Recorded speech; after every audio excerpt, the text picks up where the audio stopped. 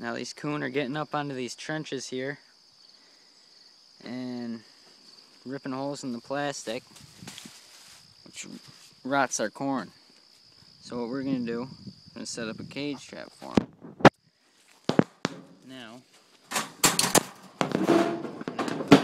set it, and I'm gonna take this couple marshmallows, throw them in. Just take a second to do that.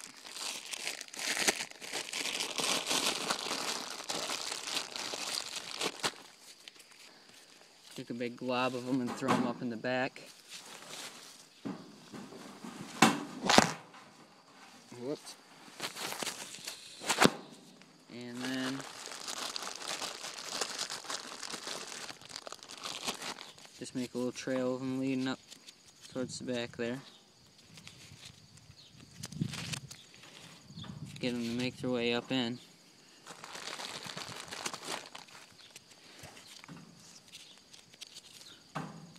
And maybe take a little bit, set a little glob at the entrance.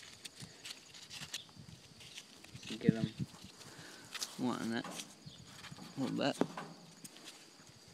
And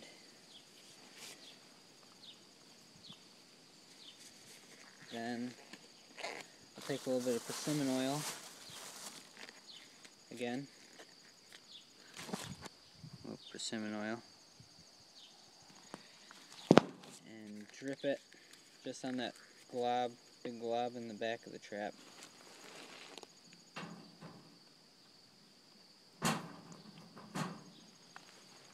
And that is all I do there.